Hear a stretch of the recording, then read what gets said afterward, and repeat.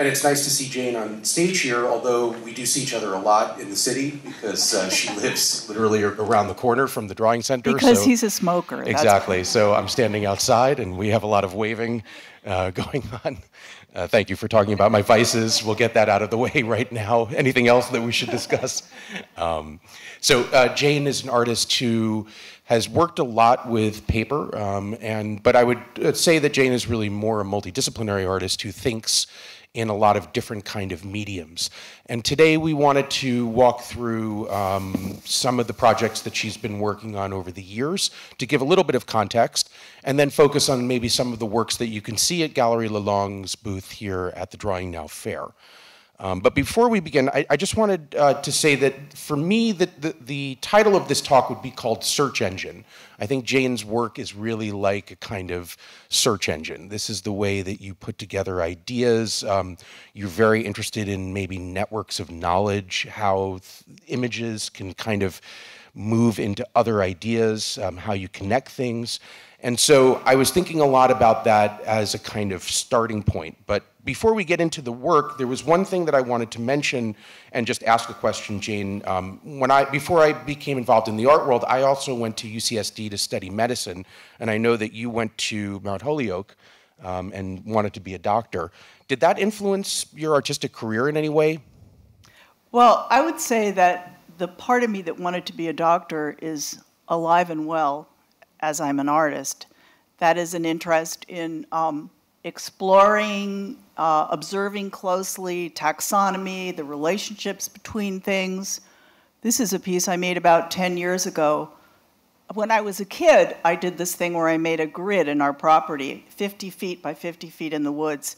And then I made a book, and then I identified everything inside the grid the rocks, the beetles, the leaves, etc., and recorded it in the book. This is a book I made maybe 10 or 15 years ago. I made the butterflies. I gave the butterflies binomial nomenclature in Latin, you know, the two part thing that everything has. There's a glossary on the back. But my Latin was fictional. So, like the green butterfly translates Latin wise as uh, jade thief. So, it's sort of a mix of fact and fiction. That's where my heart really lies. So, in a way, that kind of analytical, research based um, process, but married to a more artistic and possibly yes. personally driven narrative yes. might be the thing that you took into the next phase of yes. your thinking. Good. Yeah, good yeah. point. Yeah. Um, I did want to ask, is it possible that we could lower the lights a little bit by the, the stage just so we could see the images a little bit better? If, if that's possible, I don't know if anyone can help us with that. Well, we'll see. Yeah, maybe someone has to translate that. Uh, no, merci. No. Okay, that might, very good. good. Thank you. Um, paper has played a very important role as a medium in your, as a material in your oeuvre over the years. Um, you've even said that you privilege paper over pencil. Um, why is it that paper is so foundational to you?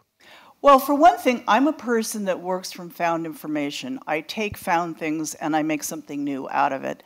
And until the rise of the internet, all that found information was basically printed information on paper. So some of the forms that have influenced me are things like matchbooks and matchbook advertising. This is an oil painting. Map making and cartography. You'll see a map here today at the fair. Packaging and product advertisement. This is a series of paintings that are the boxes that fictional products would come in. Uh, you see here the, is a painting in the shape of a piece of notebook paper itself. I've made a number of book-shaped paintings. But then I've also made a lot of pieces with paper and with very particular kinds of paper. This is a memorial I made for American soldiers killed in the war in Iraq. It consists of 4,500 unique leaves, each with the name of a soldier written on the back. So I had to choose a kind of paper that would sound right, that would feel right, that would mold to the right shape. This is a unique book I made. Um, it's a Spanish dictionary with Hebrew pages hiding inside the cover. Um, and I used, that's papyrus right there, all different kinds of papers, but to kind of have this sense of age. This is a life-size print I made, and I had the Gampi paper custom made in Japan, so it would have that impression like tattooing can have where the image is like not really on the paper, but sort of in the paper, a little bit below the surface. There's a close-up. Um, this piece might be here in the fair, and the idea is everything is based on items in 50s novelty catalogs. It's hand-drawn. It's hand-drawn to look like it's a print of an object, not the object itself. But when you examine it closely, you'll see that there's like 45 kinds of white paper in there. So it's black and white, from a distance, it looks the same, and then when you get up close, it kind of rewards close inspection. I think that's, let me see where else I am. Oh. Okay, well, this then leads us to the next question, which was uh, where do you find your source material? And obviously, here you are looking through yeah, a friend of mine of postcards. Or... Yeah, photographs, snapshots at the flea market. Somebody else took this picture and sent it to me the other day, and I thought this will be fine for my talk. So. Um, I taught in Baltimore, Maryland for 10 years, and I spent three nights a week down there. And those three nights of the week I spent in the library. And that was true for all 10 years, and it might probably wouldn't have been true if I'd been in New York. I wouldn't have gone to the public library three nights a week. So it began that way, and then I began collecting antiquarian books, and then I began going to book fairs and ephemera fairs. Then that segued into collecting snapshots. And now I would say I'm a person that spends probably the first hour, an hour and a half of every day. Like some people meditate, I like look for shit on on the internet. Mm-hmm, mm-hmm. Well, and also you were saying even here, you know, you've built relationships with dealers. Yes. Um, so you, yeah. everywhere you go around the world. I mean, I'm a little bit the same way. I collect 50s dishes, so I always go to every flea market yeah. or um, yeah. antique store, uh, even if I'm in Oklahoma or Omaha or whatever it is.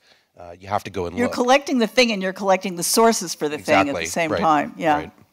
Um, I wanted to ask you um, actually something very specific because you use manicure scissors for your collages. It's a little out of the ordinary, but what, what, what manicure scissors do you use and which ones do you recommend? I own about 45 pairs of scissors. um, I have scissors handmade in India for tailors. Okay. I have a lot of cheap Fiskars spring-loaded scissors. I use them for about four months and throw them out, so they are all dated on them. And I have Hoffritz manicure scissors, and I have, probably have some kinds I don't even know the names of. Well, I figured I would ask you because yeah. I would assume that this would be an area where you would be also uh, collecting and thinking about. And that. tons of X-Acto knives with the cold steel blue blades, you know, blah blah blah. I do recommend Jane if you ever go to Finland, uh, go visit the Fiskars uh, factory. Oh wow! It's pretty unbelievable, and and that they really give you the the whole history of scissor That's great. making. Um, Finland's on my list. All right, we'll get you over there. Uh, you've worked in a lot of different mediums sculpture, painting, collage, photography, printmaking. I mean, we saw just from the slides that you went through um, how many different ways you, you use uh, all kinds of media in your work. Are you interested in how different ideas play out in different mediums, or is there one primary idea that you're kind of working out in each medium? No, I'm not a primary idea type person. I'm not an essentialist. I'm not I don't have themes, I don't have an over, I'm, I'm interested in exploration and thinking and establishing kind of connections between things that might mirror the process of thinking itself or the nature of the internet itself or what we once called free association, but now we're not so clear how free it is. Um, but I'm not someone that has a theme or an overriding story like I'm always angry at my father or I was born in the camps or, you know, whatever. I'm, um, I mean, it probably does relate to my biography because people invented a lot of stories around me when I was a child, but I'm interested in how one story changes into another one. So the different mediums that you work in are just simply expressions of the idea that you're pursuing. When I get an idea, it's it's already embedded in a medium, and that so it's like this comes, is going to be a painting. I never think, oh, like is this an etching or is this a photograph? It just like comes into my head as something, and I see it that way. That's the easiest part of my job. Well, you know, as you say, you're not an essentialist, but you did at one point in your career only work with about 276 images um, from a very from very diverse categories, and then kind of endlessly recombine them into Right. these collage-like paintings. So, Yeah. why did you want to work within this type of system, and why did you want to create some kind of artificial limit on the type of images that you could use to generate your work? Partially, I think I'm I'm of the age like I came of age in the late '70s, and I was very interested in people like Barry Le Va and Richard Serra. So I think that systems-based kind of art making, where you have a strategy or an idea before you do it, you can say what it is you're going to do. You know, I think I'm very influenced by that, even though my work superficially doesn't appear to be like that the idea of having parameters and then exploring all kinds of freedom inside those parameters just fits with me. Well, I do think that then the next thing is though that because you do combine the conceptual with the handmade, these are often two things that that really seem at odds with each other. How do you reconcile that? Um, because I would say that you know I view you really as a, a conceptual artist, but your work reads as something different on, yeah, on first it has a sensual, Yeah. Mm-hmm. tactile quality. Yeah. For some reason, yesterday I was thinking about this story that I read when I was reading about Julia Childs, and when she was first learning how to cook, and she was living here, she went around France interviewing a lot of French women in particular in the country about how they cooked. And this one woman said to her, a meal should have some internal consonance. Maybe she didn't use that phrase. And the example she gave was she was roasting a lamb, and she took some juice from the lamb and she poured it into the vinaigrette. So there was a connection subliminally between the salad and the meat. That kind of thing where you're doing something that's physical and sensual, but you also have an idea around what you're doing. I mean, I think it's more odd that we separate those two things. We, as human beings, we're hardwired to think conceptually, and we're also hardwired to like chocolate, you know, and it doesn't feel like a conflict as you live that. So I just put things together that felt right to me that maybe had been separated before me. Well, there there might be, of course, other in a way other precedents too. I mean, I, I recently just worked with Jennifer Bartlett, and I was thinking about Jennifer in relationship to a very systematic and highly conceptual approach, but then she moves also into these Pastels. pastels and and landscapes and figurative work. Yes. and so to She's reconcile these two Yeah. things, although they, they do have a kind of distinct break, she's barely ever putting the two things together um, in one panel. Uh, but I, I like the idea that she's moving, that she has that fluidity. Right. Um, well, th- that would then bring me to one other aspect of your work, which is game theory. Um, you know, you seem to have uh, been very interested in game theory and employed a lot of chance operations as part of th- your compositional strategies. Um, what is interesting to you about games in relationship to art? Uh, obviously, there's a long history of that, and, and surely in Dadaist and Surrealist automatic drawing, I mean, this idea of chance or John Cage. Um, can you talk a little bit about why that became something that was important to you? I think games are interesting more, less in terms of art and more in terms of life. All cultures have games. And they have games because games mirror life, because life itself is a kind of heady cocktail of chance and strategy. And that's what most games are about. I don't really think of this as a game, but it's the only painting I've ever made that's rigorously about chance. It's two paintings together that are 400 squares, and I designed six dice based operations, and the colors and numbers and patterns are totally determined by chance, and I didn't know what they would be before I made the painting. And then, of course, that's only interesting if you do the same thing with the same parameters a second time. Well, the most interesting thing is to observe how the two paintings are alike and different from each other. I've also made paintings based on existing games, like this is a game that harkens from the Middle Ages called The Game of a Goose. And this is a painting I made where I sort of made the painting according to the rules of the game. And I also made a print that way too. I actually found a game board in the Marais, which was my inspiration for that. This is a recent painting called Snapshot Odyssey, which is a board game about me collecting photographs. And it has a rule book that comes with it too, so it actually does kind of function. I've made a series of rebus paintings. They thwart how you normally look at a painting. You read the left side, top to bottom, left to right, separately from the right side, same way.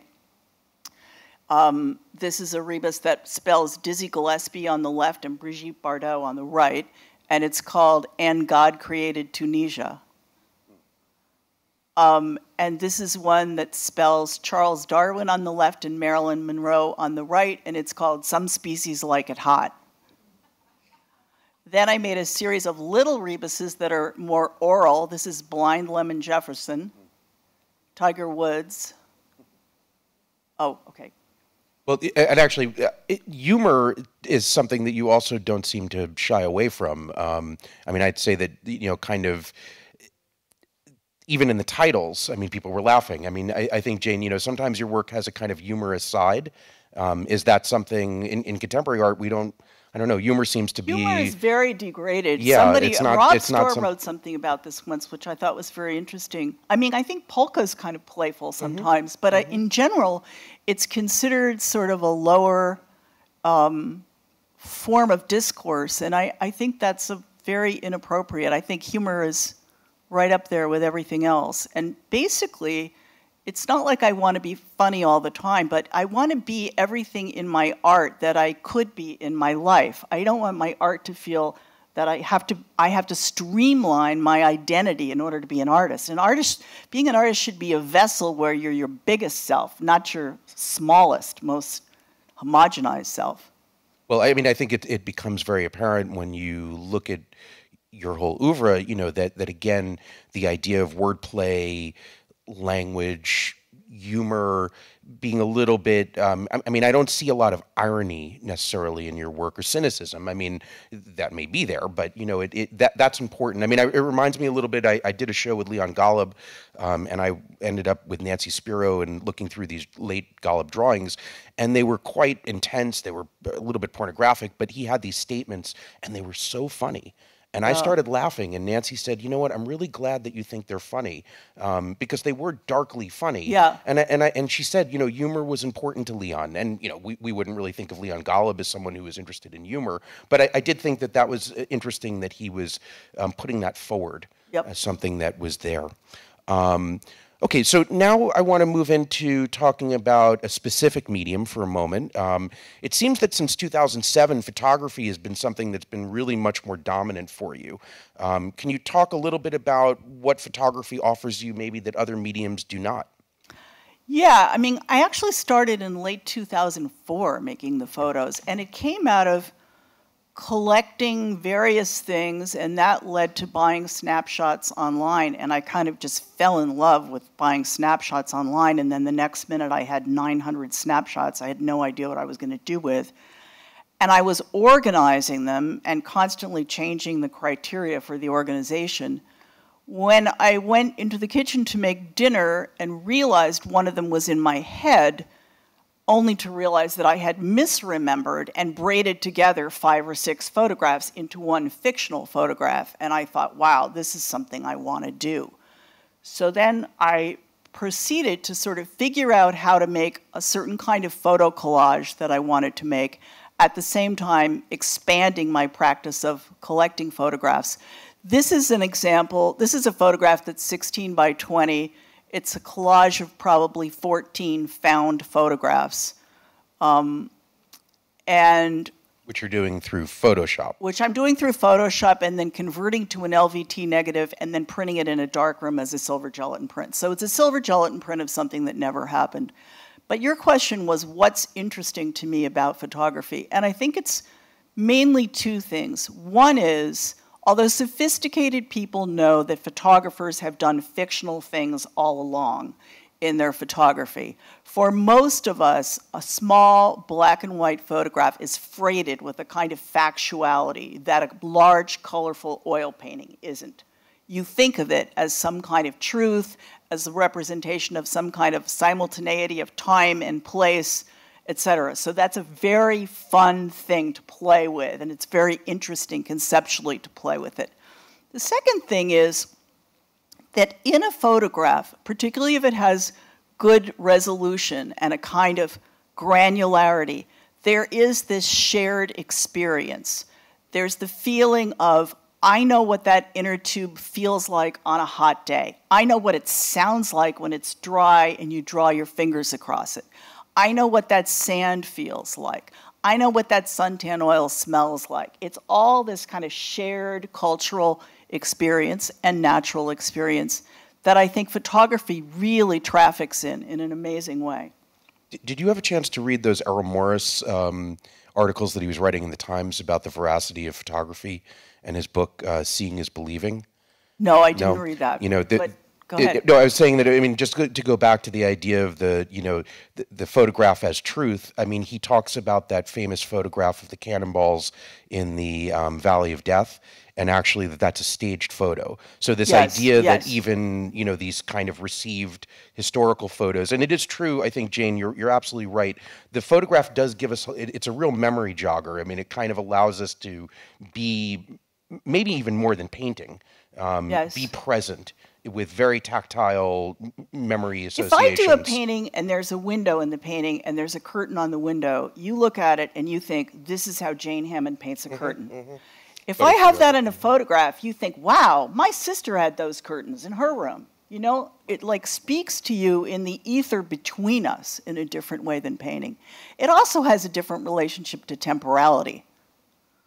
And here you're obviously stitching together multiple temporalities and multiple spaces um, because those are six or seven or 14 photographs right. that are put together and they may not all be from exactly the same time frame. Right. I mean, I when I bought this monkey, in the end I made this monkey out of like seven other monkeys, but I bought this monkey, I thought he's going to be looking at a couple kissing. I have a huge collection of kissing couples. They're almost all banal, but this couple was really great to me but I really didn't like her dress. So I put my polka dot dress on my studio assistant, made her pretend she was making out with that guy, and then took the picture. So it's two pictures I found in a flea market in Germany and one I took five minutes before. Should we move to um, the Dazzle paintings? Sure. This is a game, by the way. This is a new photograph, and it's called the Pairs Game. And that guy in the camouflage jumpsuit is hiding his eyes, and then he has to pick out who gets paired with who. It's a game I made up. So, um, you have been working on a series of uh, works called Dazzle Paintings, which you first showed at Gallery Lelong here in Paris, I think in 2010. That's right. Um, could you talk a little bit about the process of how these paintings are constructed and what materials you use? Because also they are photographically based.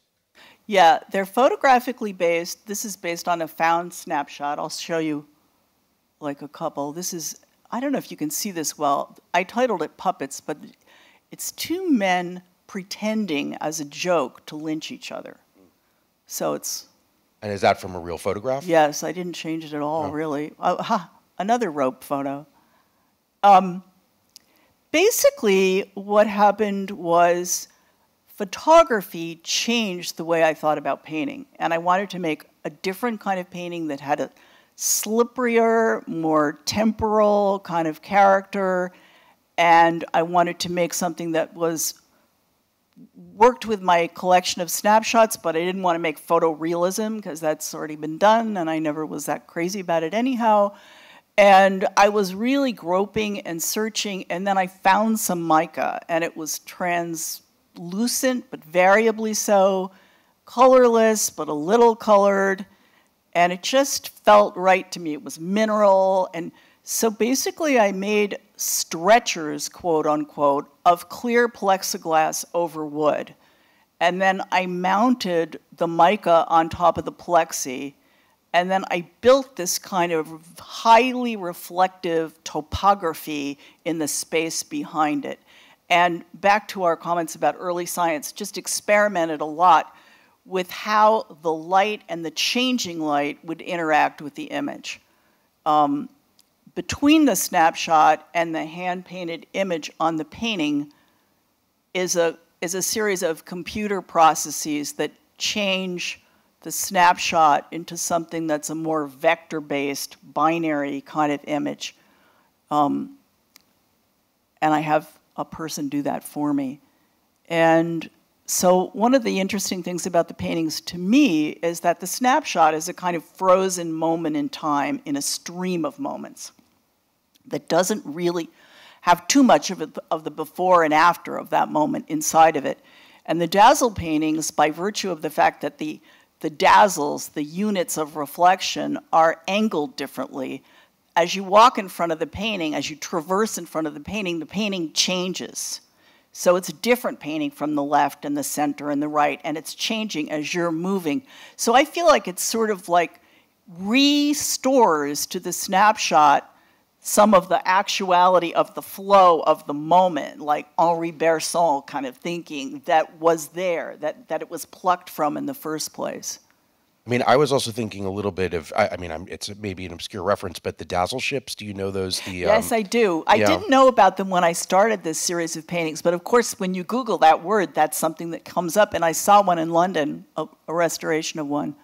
So the they, are camouflage ships um, that were in World War II. They're built to go away. Yeah, yeah. So I was thinking a little bit about camouflage also yes. in the revealing and yes. uh, of seeing things, and I think in the dazzle paintings you definitely have that experience. Yep. Um, the other thing is that the, the, images themselves, although they're quite banal, often people at lying down or yep. resting or looking like doing some leisurely activity, there's also a little bit of a kind of sinister I don't want to say, well, there's a little bit of a no. darkness um, in all of these images. The two guys lynching each other, um, the woman lying down with the kind of the boot next yes, to her, yes. which looks, you know, yes. like something ominous is going yeah. to happen.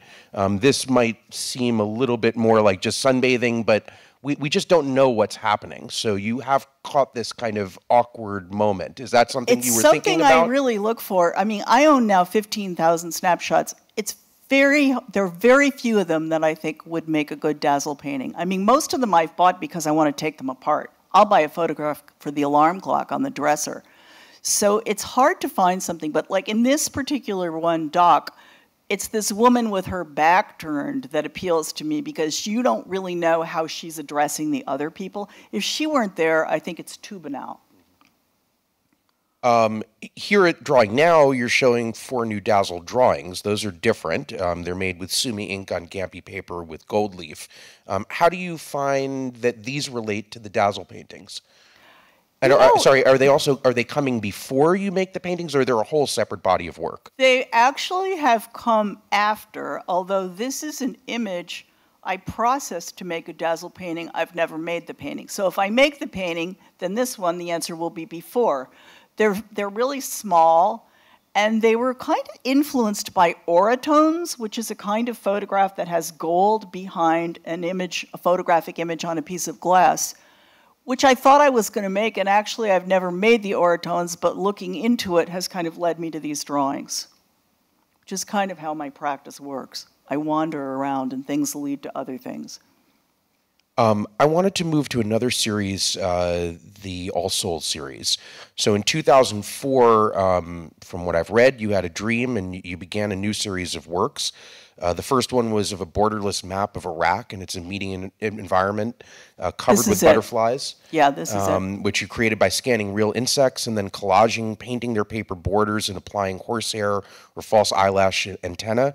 Um, the thing about this work is that there's a really disjunctive juxtaposition of this incredibly dangerous war-torn place that uh, you know is still a, a, real hotbed of problems in our world with the beauty of butterflies. Yeah. Um, what was the point of that statement? I mean, wh- why that disjunction of the kind of the horror of Iraq and the, the, the, the beauty of the butterfly. I mean, it, you know, it, is it a political statement? Is it a statement about? Yeah, fundamentally it is a political statement, but I don't actually work from a point to the art. What happened to me is on the day of September 11th, 2001, in my apartment in New York, I had a visitation to my window box of 30 monarch butterflies. Then, when the United States started bombing in Iraq, I had a dream because I was watching a lot of aerial photography and cartography. I had a dream in which there was a map of the Middle East covered in butterflies. Now, I'm not saying all dreams are worthy of actually making the piece. You have to then subject that dream to some process of analysis in the light of day. Is this an interesting idea? What is this about? What does this mean? Etc. So I thought of the idea of making a very old, worn, sort of archaeological feeling map. They're made of like 40 pieces of paper, and I grind and sand on them on the floor, and I flood them with water, etc and kind of marrying that with the freshness, ephemerality, and beauty of the butterflies. But I guess I was also thinking no other animal connotes cycles of living and dying more than a butterfly. I mean, if you'd never seen or heard of the idea of the human soul and you saw a butterfly throughout its life cycle, the, the idea that you could mitigate into something entirely different would seem completely plausible to you. So the, I, the idea was to uh, connote cycles of living and dying in these places. And the places were completely fraught. It was like, this is Uganda, it was like Vietnam, Rwanda, South Africa, Bosnia.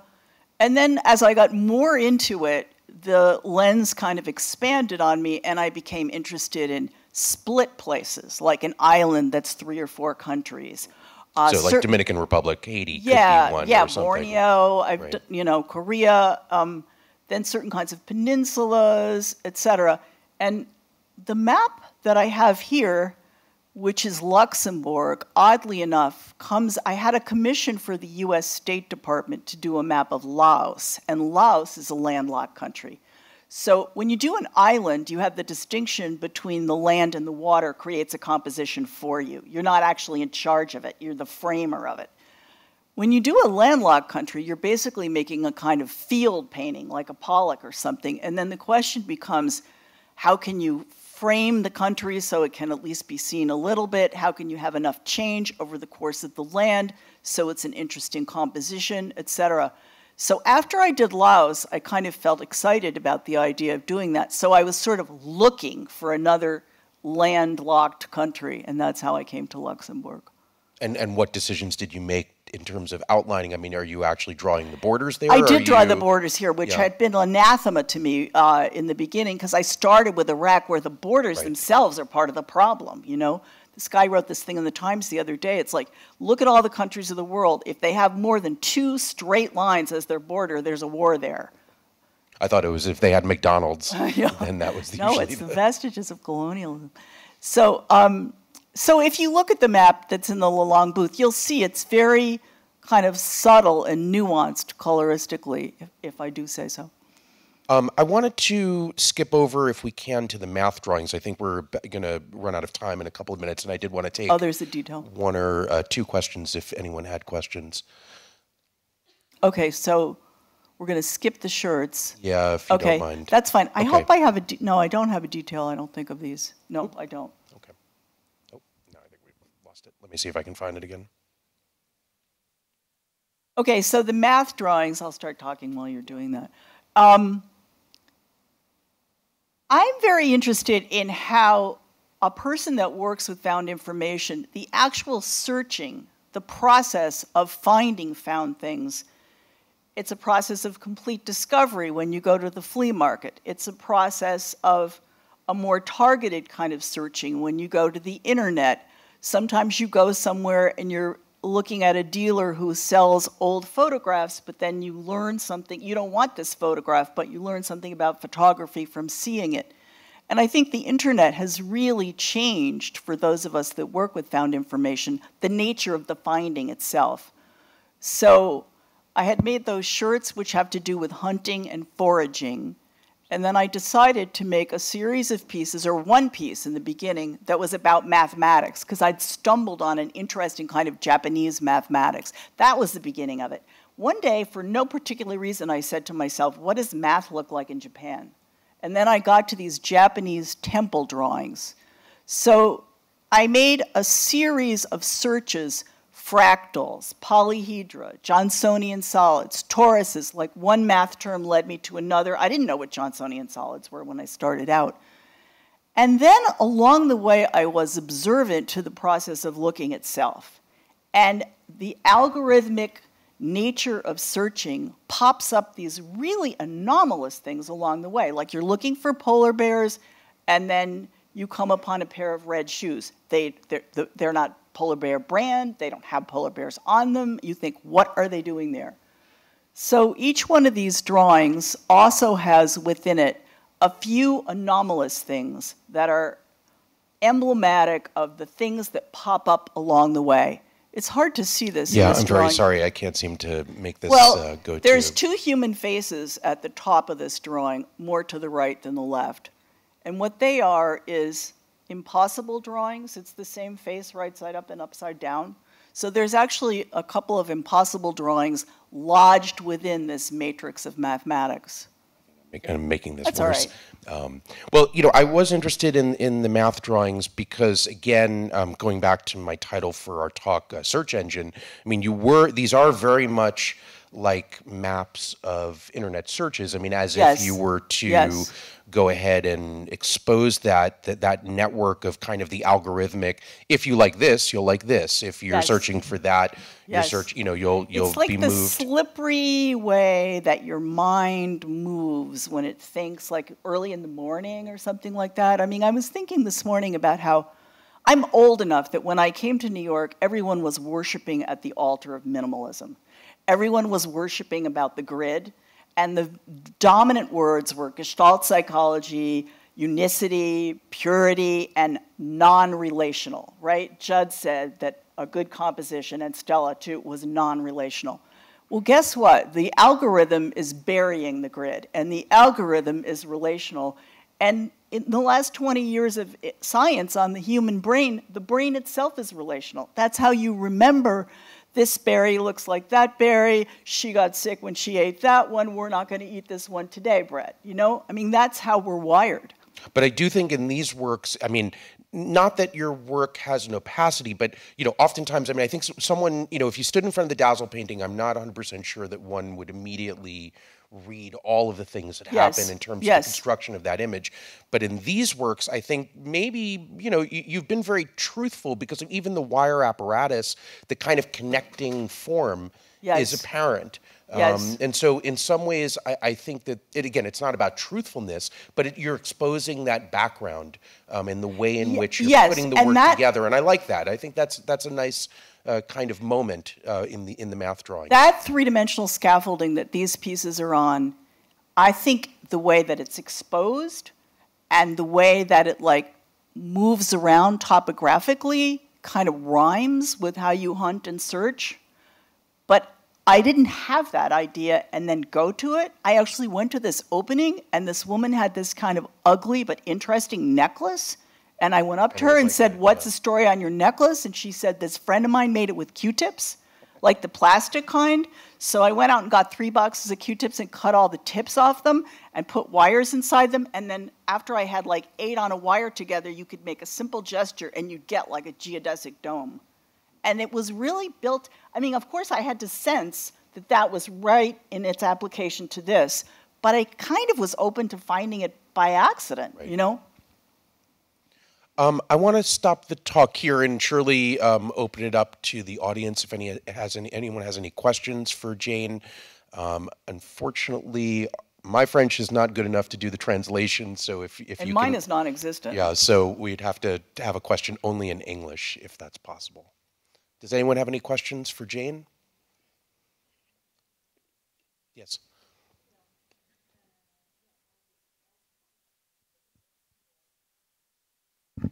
it's three-dimensional but i personally use the word drawing for anything i make with paper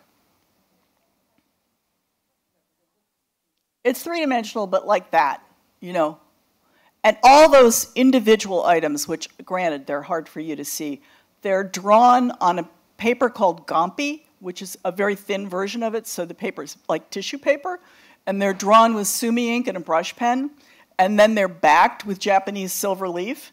So you actually look through the Gampi at the silver, and it's like the Gampi disappears. So it appears to be a series of drawings on Japanese silver leaf, but they're really it's really multi-layered. Then they're backed with another piece of paper so that they're stiff and have this kind of planar look. And then maybe six or seven of them in each piece are painted fluorescent orange on the back, so they kind of glow onto their neighbor or onto the back sheet. And they're, they're like about this big, something like that. Yeah, I, you have to make these kind of pyramid, you have to make another structure so that there's points of contact to glue them because they don't really naturally have much in common with the scaffolding until you build the understructure. You should look at Gago. yeah, that right? might be a yeah, good place yeah, to start for that understructure. Any other questions for Jane?